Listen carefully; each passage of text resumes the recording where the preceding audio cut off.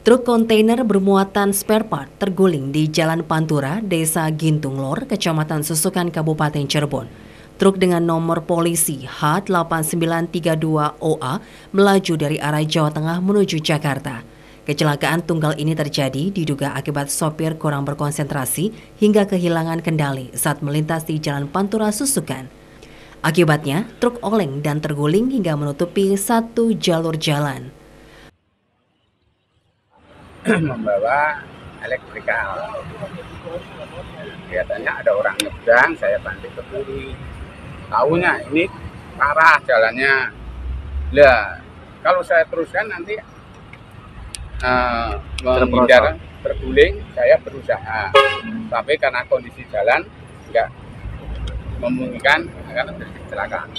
Terlalu tinggi atau gimana ini Terlalu Pak? tinggi ini. Batas antar Nah, trotoar sama trotoar sama Jalan. aspalnya. Petugas kepolisian dari unit Gakumdu Satlantas Polresta Cirebon langsung mendatangi lokasi. Proses evakuasi truk ini menjadi prioritas karena badan truk yang menutupi jalan mengganggu arus lalu lintas.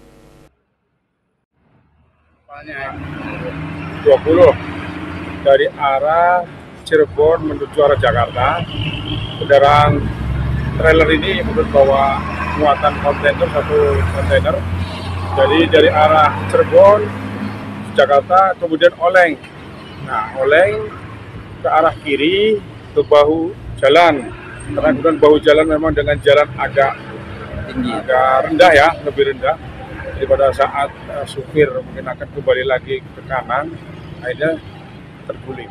Dan posisi tergulingnya kemudian melintang, jadi menutupi satu jalur yang arah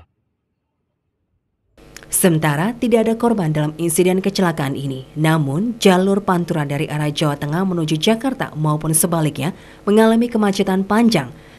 Sedangkan proses evakuasi rencananya akan dilakukan menggunakan alat berat. Muhammad Solihin, RCTV, Cirebon.